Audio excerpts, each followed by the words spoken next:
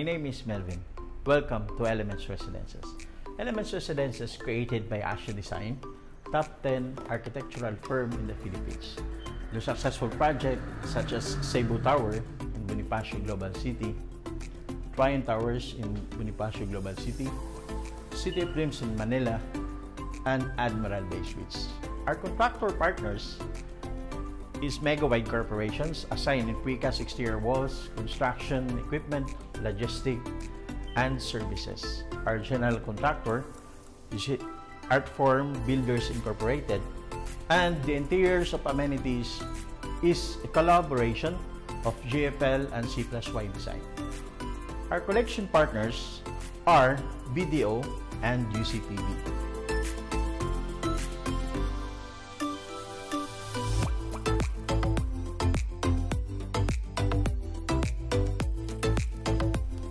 Upstairs, titingnan natin yung model unit.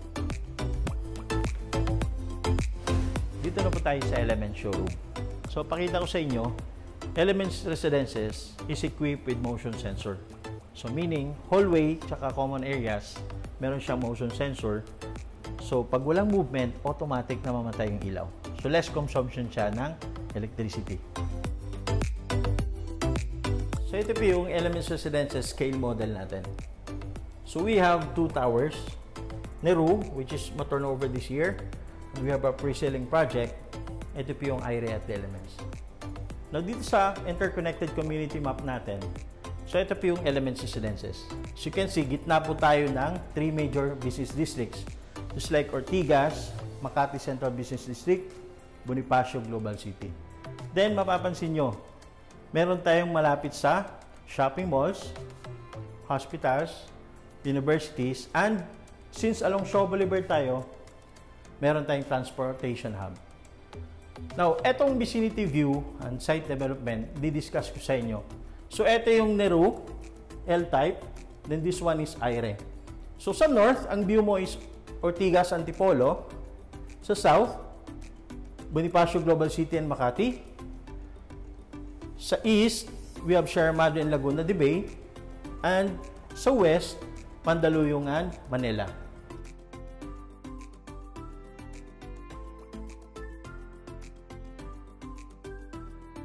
Sa fifth floor natin, na amenities, meron tayong resort style pool. Function hall, may fit lab na tayo. Meron tayong track 5, 15 meters long. We have namaste, yoga room, and we have hoop it or shooting court. Now, on the 29th floor, meron tayong music room.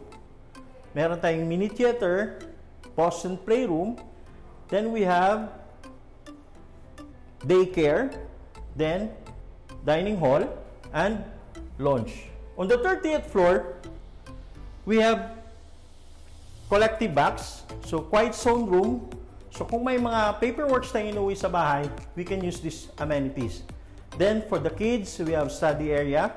Then for the book lovers, we have cafe lounge. Then sky pool.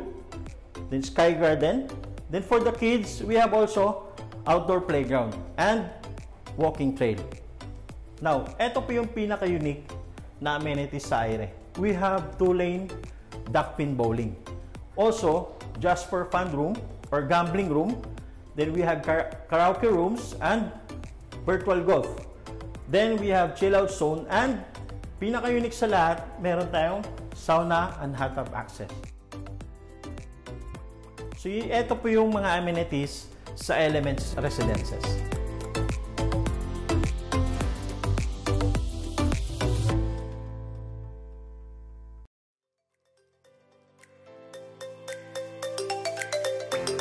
So, ito po yung one bedroom natin, silver unit, 23 square meter. Ideal siya sa mga young professionals. Pagpasok natin, ito yung actual turnover ng toilet and bath. So, meron na siyang shower enclosure, shower heads, lavatory.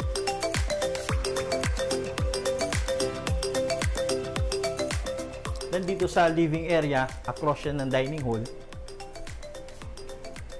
remove mo lang yung furnitures at fixtures. Yun na po yung unit nyo. So, yung walls between units is AEC blocks.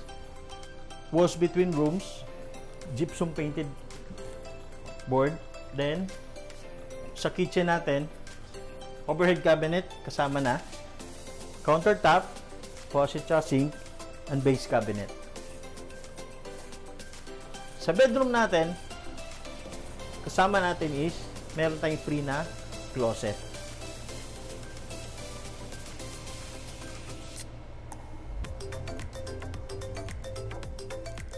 So, ito po yung one bedroom unit natin.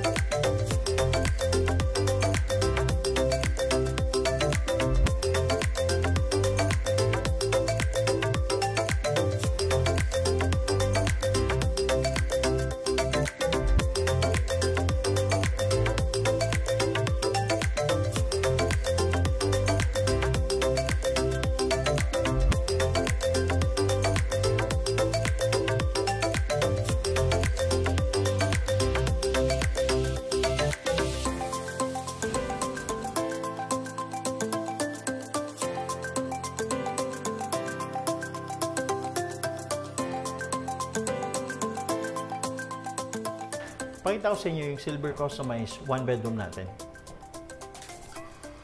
So pagpasok natin yung toilet and bath, customized na siya. May shower enclosure, tsaka bathroom fixtures. At naka-wallpaper na ang setup.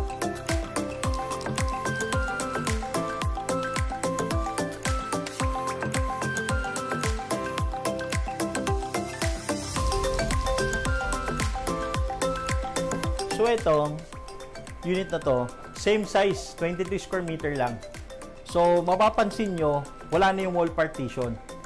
So to maximize the space, ito yung setup niya. So meron na tayong living area, dining, then yung closet natin, separate na rin. Iba yung design. Sa kitchen natin, same lang din yung turnover. Pero naka-customize na siya. So, ito yung upgraded na silver unit, one bedroom natin.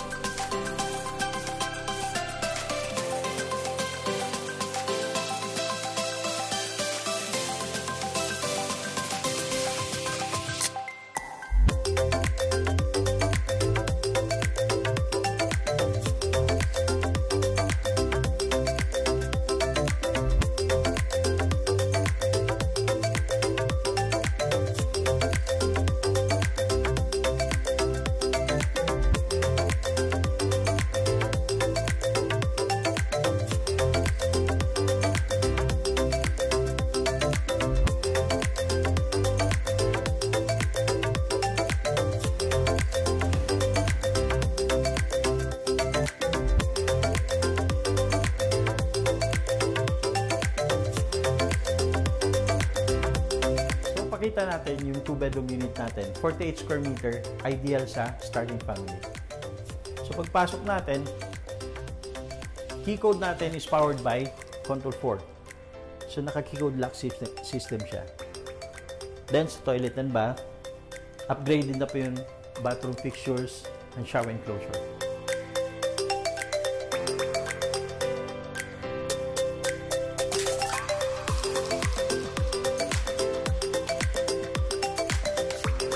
Pagpasok natin, bubungad sa atin yung living area.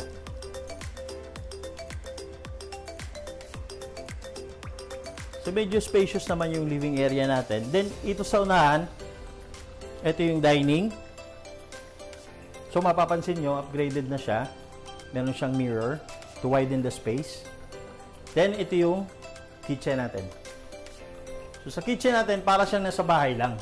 Kasi tago at medyo malaki. So as sa kitchen na free natin is ito yung overhead cabinet, base cabinet, countertop, sink tsaka faucet. Then, proceed tayo dun sa bedroom. So, makikita nyo sa master's bedroom tsaka sa second room, upgraded na po yung glass partition niya. So, ito yung actual na turnover. Meron na siyang closet. So yun yung turnover na closet na free natin sa lahat ng unit owners. Then sa second room, ito yung second room, yun na po yung actual na turnover ng closet. Then, i-discuss ko sa inyo yung control 4 natin na pwede natin i-automize lahat ng unit natin. So, for example, yung blinds down, automatic na yan, bababa na siya.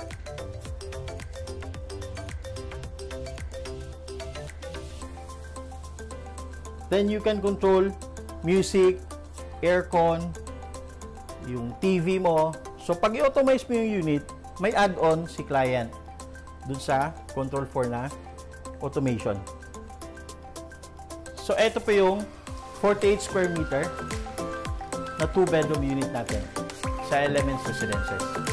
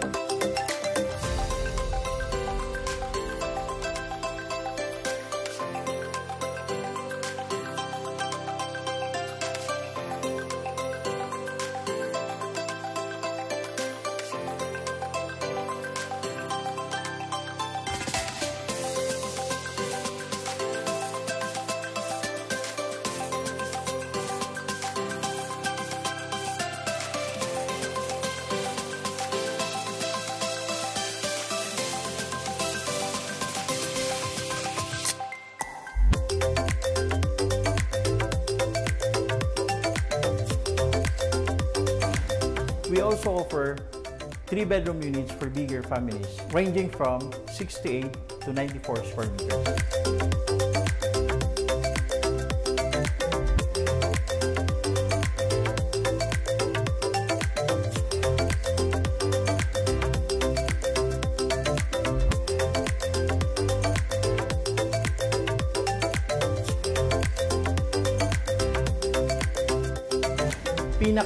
dito sa Elements Residences is we have seven eco-efficient features.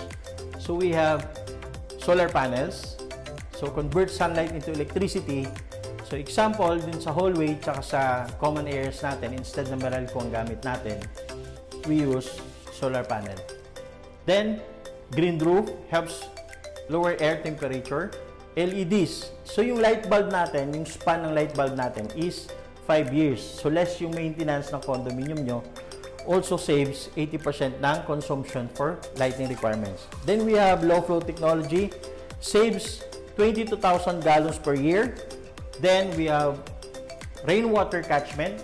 Instead na potable water yung sa landscape natin, we use tubig ulan. Then, smart controllers. Ito yung sinabi ko sa inyo nung una, We have motion sensor sa hallway natin. Pag walang movement, automatic na off yung ilaw. So makakatipid tayo sa konsumo, sa maintenance ng condominium natin. Also, yung last part is we have recycling. Sa Elements Residences, ito yung interior finish natin. So sa ceiling natin, we have painted gypsum board. Then, unit floor tiles, hallway floor tiles, Then sa kitchen natin, overhead cabinet, ito yung turnover natin. Kitchen countertop. White semi-gloss finish na paint. Then sa kitchen base cabinet natin, floor tiles ng bathroom. Then main door natin. Then glass panel ng bathroom. Wall tiles ng bathroom. in bedroom cabinet, then switch. Then, ito po yung gamit natin sa wall natin. AAC blocks.